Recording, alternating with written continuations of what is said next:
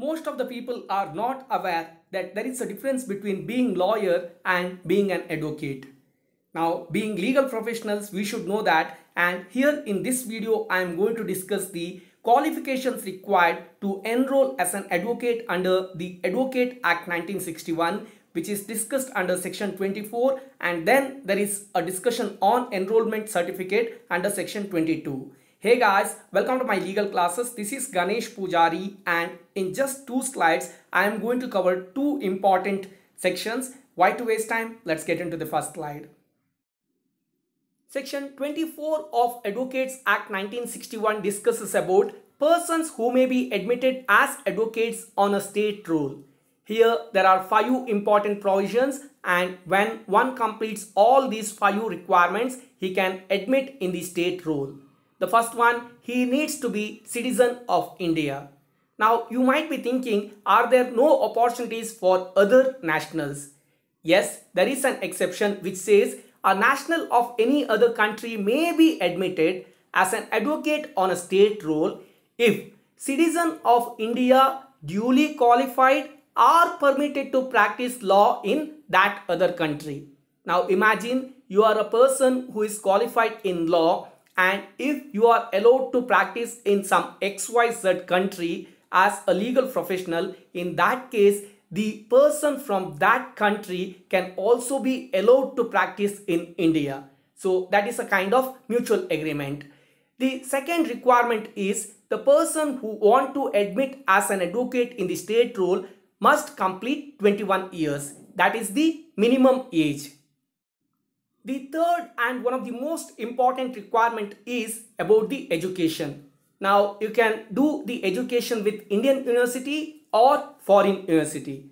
When it comes to Indian university, the person need to complete graduation and then 3 years regular law course or it may be 10 plus 2 and then 5 years integrated law course. That is what required to be a lawyer. But if you are doing education with foreign university, then such university need to be recognized by the Bar Council of India under the Advocate Act. That is a very important requirement as per section 24C. Now the next aspect is there is something by name enrollment fee. When I say enrollment fee, it can change but as of now that is in the year 2020 the enrollment fee for state is 600 rupees and then there is 150 rupees towards Bar Council of India and if such candidate is belonging to SC or ST that is scheduled caste or scheduled tribe then the fees for state is 100 rupees and for Bar Council of India it is 25 rupees.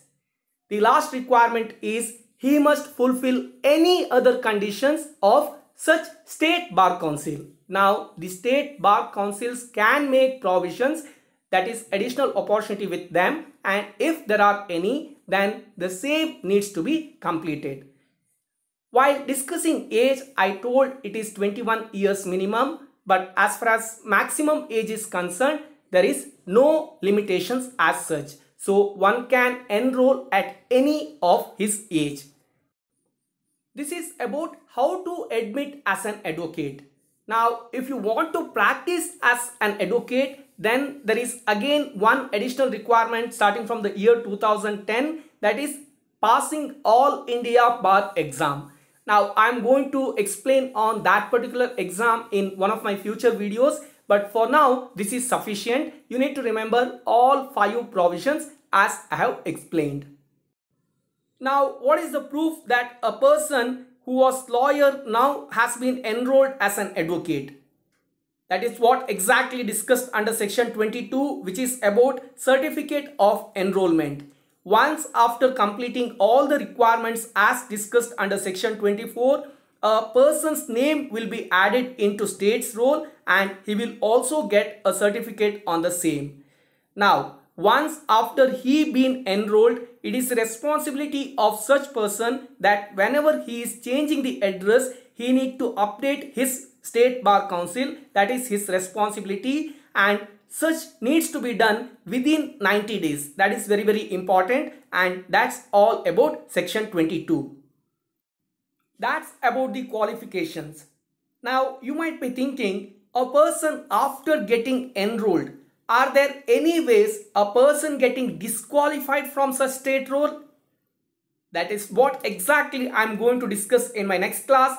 Till then, thank you so much for subscribing my channel. Please like, share and comment my videos. All the very best for whatsoever purpose you are referring my channel and thanks again.